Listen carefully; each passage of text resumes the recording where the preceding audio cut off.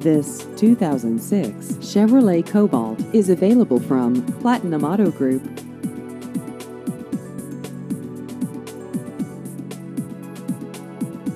This vehicle has just over 73,000 miles.